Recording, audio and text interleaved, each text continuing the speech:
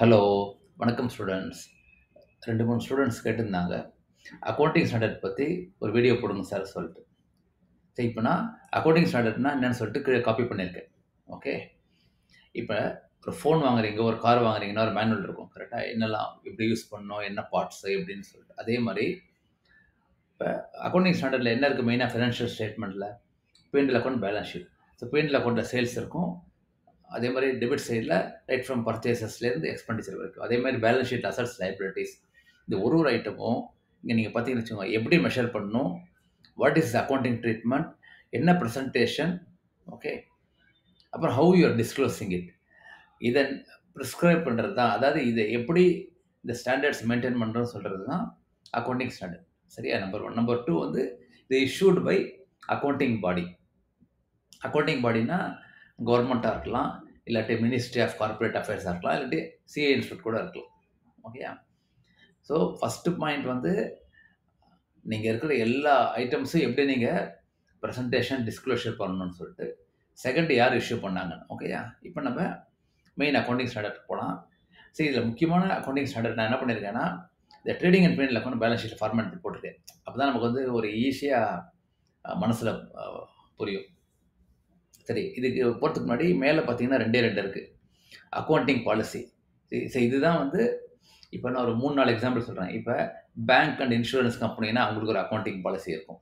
Okay manufacturing கம்பெனினா அவங்களுக்கு ஒரு அக்கௌண்டிங் பாலிசி. ஓகே. அதே மாதிரி ட்ரேடிங் பண்ணுறாங்க இல்லாட்டி இது software back office for US companies, foreign கம்பெனிஸ்னால் அவங்களுக்கு ஒரு அக்கௌண்டிங் பாலிசி இருக்கும். ஓகேயா? ஸோ அந்த அக்கௌண்டிங் பாலிசி என்னங்கிறத அவங்க முதல்ல தெளிவாக சொல்லிடணும். அதுதான் ஃபஸ்ட்டு முக்கியம். ஓகே அதே மாதிரி இப்போ எல்லா ரிப்போர்ட்ஸுமே ஒரு ஃபைனான்ஷியல் இயர் இருக்கும். கரெக்டாக ஜனவரி டூ டிசம்பர் இருக்கலாம். இல்லாட்டி ஏப்ரல் டூ மார்ச் இருக்கலாம். அந்தந்த கண்ட்ரியை பொறுத்து இருக்குது அந்தந்த கம்பெனி எப்படி follow பண்ணுறாங்கன்றது okay. Mostly April to March தான். இருந்தாலும் அந்த மார்ச்சுக்கு அப்புறம் ஏதாவது முக்கியமான ஈவெண்ட் நடந்ததுன்னா அது கொடுக்கணும் முக்கியமான event can be anything. Think for example ஒரு பிக் கான்ட்ராக்ட் கிடச்சிருக்கலாம் இல்லாட்டி பிக் கான்ட்ராக்ட் கிடைக்கும்னு சொல்லிட்டு நீங்கள் அசட் பர்ச்சேஸ் பண்ணிட்டு அந்த கான்ட்ராக்டில் டிலே ஆக இருக்கலாம். அதையும் எழுதணும். அதே மாதிரி ஏதாவது இன்வென்ட்ரி வேல்யூவேஷனில் சப்போஸ் ஒரு பிக் ஆர்டர் வந்து ரிட்டர்ன் ஆகுது. இல்லாட்டி இப்போ நீங்கள் நிறைய இது பார்த்துருப்பீங்க அந்த கார்லாம் வந்து திடீர்னு ஒரு மாடல் வந்து பிரேக் சரியாக ஒர்க் பண்ணல அப்படின்னு சொல்லிட்டு ஒரு இது பண்ணுவாங்க.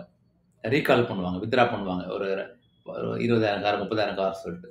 அப்போ அந்த மாதிரி இருந்ததுன்னா, சப்போஸ் ஏப்ரல் டூ மார்ச் முடிஞ்சு மே மாதம் நடக்கிறதுன்னு வச்சுக்கோங்க. அப்போ அதை கொடுக்கணும் இந்த மாதிரி இவ்வளோ கார்ஸ் இந்த இஷ்யூனால வந்திருக்கு. அதுக்கு என்ன ஆக்ஷன் எடுத்தோம் அப்படின்னு சொல்லிட்டு. ஸோ எல்லா முக்கியமான ஈவெண்ட்ஸ் ஆஃப்டர் பேலன்ஸ் ஷீட் அதில் வரும். ஓகே அஸ் முதல் ரெண்டு அதுக்கப்புறம் முக்கியமானது கொடுத்துருங்க இப்போ இப்போ பிஎன்எல் அக்கௌண்ட்டில் பார்த்தீங்கன்னா சேல்ஸ். ஸோ ஸ்டாண்டர்ட் நைன் வந்து சேல்ஸ். அதே மாதிரி டெபிட் சைடில் பார்த்தா சேலரிக்கு ஒரு அக்கௌண்டிங் ஸ்டாண்டர்ட். சேலரினா சேலரி கிடையாது ஆக்சுவலாக அதுக்கு பேர் எம்ப்ளாயி பெனிஃபிட்ஸ் நான் வேணால் இங்கே டைப் படிச்சிடுறேன் எம்ப்ளாயி பெனிஃபிட்ஸ். ஓகே. நமக்கு ஈஸி இதுக்கு ஈஸியாக இருக்கும்னு சொல்லிட்டு போட்டேன்.